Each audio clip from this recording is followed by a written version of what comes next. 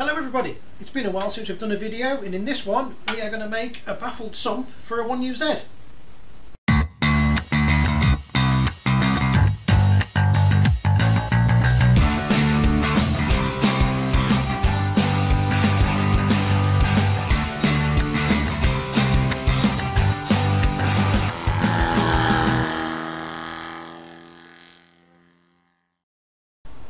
So this is a 1UZ sump, aluminium casting with a steel pan on the bottom and uh, we've got a problem with the big ends on our drift car and uh, if you have a look at this trace here from our data logger you'll see that when we initiate drifts uh, we're getting a big dip in the oil pressure um, and I think that's because of oil surge in the sump.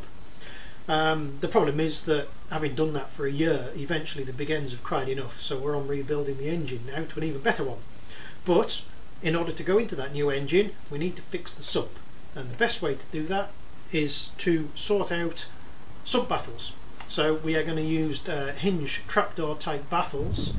And the idea being that when the oil's moving left and right um, it gets trapped by the trapdoors so it can't flow away from the oil pickup. It can only flow towards it. This is the standard Lexus oil pan and it's just completely open in the bottom um, it actually has a baffle plate. Uh, this is a slightly modified one. The baffle plate sits at that level there, which is flush with the top of this. Um, and the actual standard oil level for the car sits at this baffle plate level. So that's how the standard setup is. Now the problem is you go around the corner like this, and of course all the oil sloshes away from the pickup, which is right in the centre of here. Uh, so we need to do something about that. So this is the standard 1UZ sump aluminium casting. I've put the oil pump on the front of it. Here's the oil pickup pipe and looking down into it this is the standard oil pan.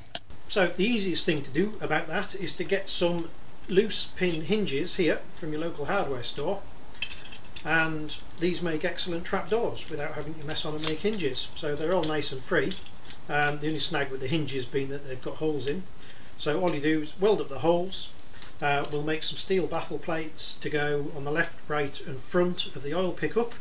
Uh, we will weld these trapdoors to it on the inside and then oil can flow in into the uh, pickup area but it can't flow out. So it's a pretty simple idea um, and it's just a bit of steel fabrication.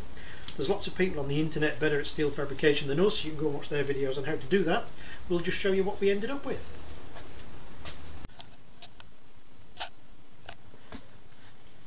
So here's a close-up. We've got our two wells on the outside. So any oil that ends up in these wells goes out through into the centre through trapdoor going that way, trapdoor going this way, and any oil that ends up down the front goes through this trapdoor and all ends up in this central area here, which is where we want it. So it's pretty simple. It's only fabbed out a um, 1.2 mil steel plate, um, and you can see the hinges here.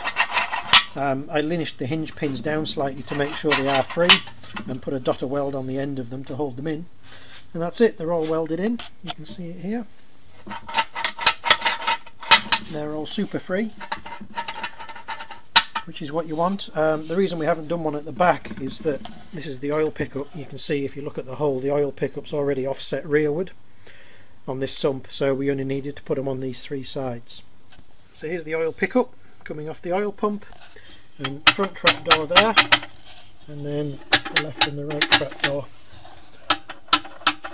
So the only modification we've made to the pickup is I've welded these two steel plates on here and the reason for those is that the doors actually open up against those which limits their opening. Um, the reason for doing this, the front one's okay because it hits the front.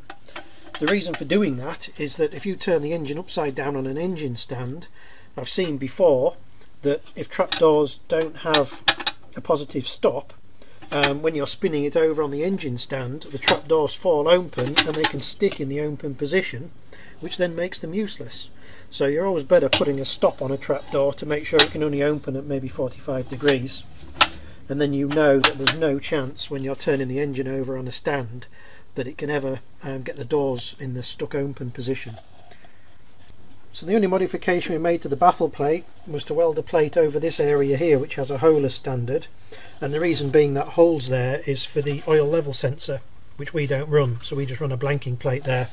Um, so it made sense to block that up as well. So we end up just with this area here for the oil pickup. So there you go. That's a very quick way of making a trapdoor sump for a 1UZ uh, we will share the data. And say we'll let you know how we get on with it. But we're looking forward to trying this and hopefully that's the end of our big end worries. Thanks for watching. Please subscribe, it helps support us. And um, we'll be back later with some more 1UZ videos. Thank you everybody.